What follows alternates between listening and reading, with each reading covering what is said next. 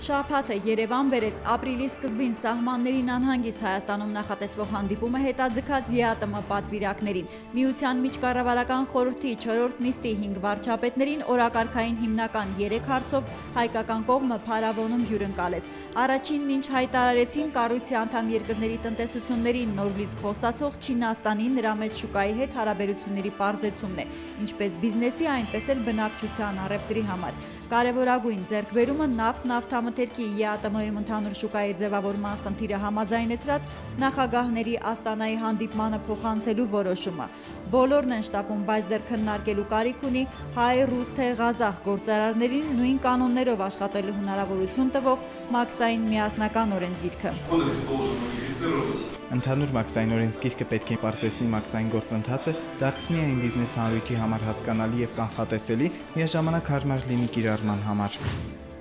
Ծախսերում խնայողական ռեժիմի անցումը շատերի շաբաթվա զրույցի թեմա դարձրեց միանգամից մոտ 800 ծառայողական մեքենա կրճատելու կառավարության հայտարարությունը։ Շատերի համար մտահոգիչ այս որոշմանը կհաջորդի կառավարական ապարատի օպտիմալացումը։ Վարչություն բաժիններում շեֆի բարեկամ թեր ծանրաբեռնված աշխատակից թե բնակչության կյանքը մաղարիչով բարդացնող ծառայող առաջին հարվածի տակ են մոնոպոլ ավանդույթներից անկախ, ով ինչ ուզում է պետք է կարողանա երկիր ներկրել նոր հանձնարարություն ստացան էկոնոմիկայի ու ՊԵԿ-ի ղեկավարները։ Նաև հանձնարարություն, որպիսի հարկան եւ մաքսային հավասար պայմաններ ստեղծվեն բոլոր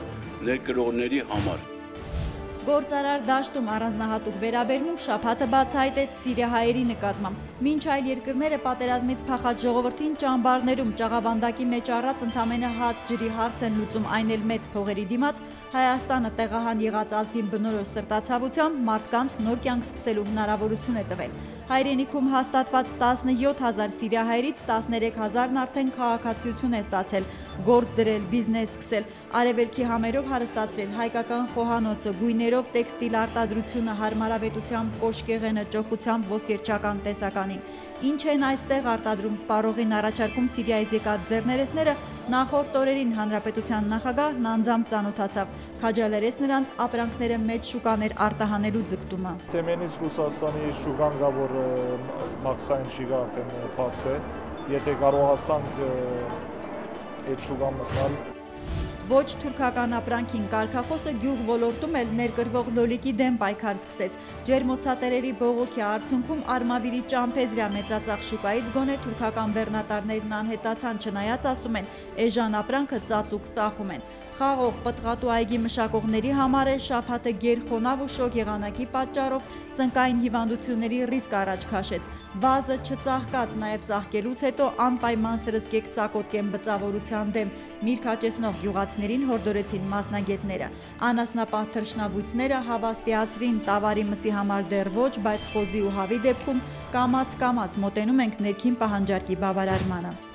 Այսօր իրենք իրենց ոտով, ձեռքով ոնց որ ասում են ժողովրդական առնում, գնում են տուն։ Շաբաթվա ավարտին վերջապես տուն գնացին Հալաբյանի ավտոբուսային պայթյունից ամենաշատ տուժած երկու երիտասարդները։ Միայն հիվանդանոցից դուրս գրելու պահին բժիշկներն անկեղծացան, թե տղաների այրվածքներն այնքան խորն էին, մկաններն ու հոդերի ջլերն այնքան վնասված, որ գանգրենայի ռիսկ կար, կասկածում էին նորմալ կքայլեն, Հիմա վստահ են ծառայության էլ են պիտանի։ Մինչև բանակ գնալ զինվոր դառնալը դեռ աշակերտի պարտականությունների տակ են։ Հասցնեն դասի կգնան ամառային արձակուրդից առաջ դպրոցների վերջին օրերն են։ Թերմինե Բաղդասյան առաջին ալիք։